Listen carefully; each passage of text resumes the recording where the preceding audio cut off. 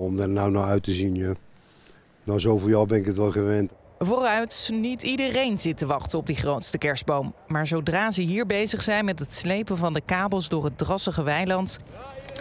begint het bij menig IJsselsteiner te kriebelen. Beetje gezelligheid erin, hè? een beetje licht erin. Het is niet alleen de grootste kerstboom van IJsselstein, maar het is gewoon de grootste kerstboom van Nederland. Als het dan donker is en dan kijk ik uit het raam, dan zie ik al die lichtjes. Ja, ik kijk er vanuit mijn keuken op, dus ik vind dat het erg leuk dat ze doen. En gelukkig maar, want deze zendmast optuigen is wat anders dan de kerstboom thuis. Het is zo dat we met een vijftiental mensen uh, de komende vier dagen 120 lampen ophijzen.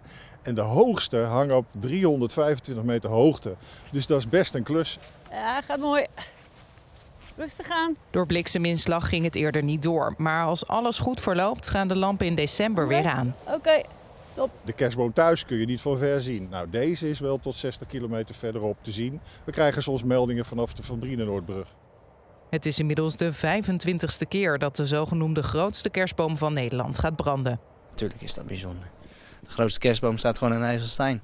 Ja, is trots. En daar doen ze het allemaal voor. Want dit beeld is volgens velen nog altijd de moeite waard.